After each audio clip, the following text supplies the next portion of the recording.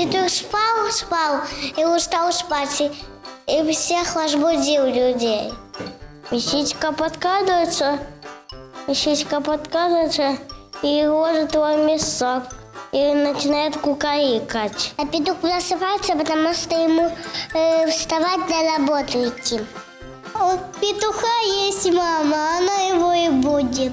Будет директор садика, чтобы дети не проспали.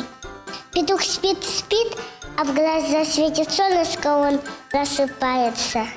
Проверка будет петуха, Ш- чтобы петух разбудил хозяина. А хозяин пошел на работу.